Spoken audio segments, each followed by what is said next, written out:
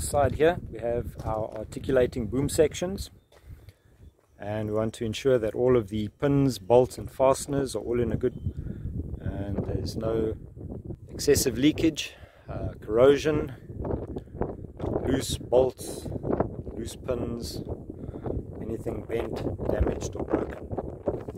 Also want to ensure that our hydraulic lines are all secure and the hoses are in a good condition.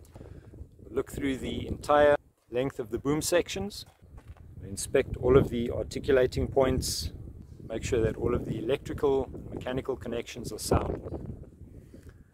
On this telescopic part of the boom we also want to ensure the wear pads are well adjusted and well lubricated. And we also want to look at any extension rods of the cylinder. As said before, there are a lot of mechanical, electrical and hydraulic connections we want to ensure they're all in good condition and there's no damage present.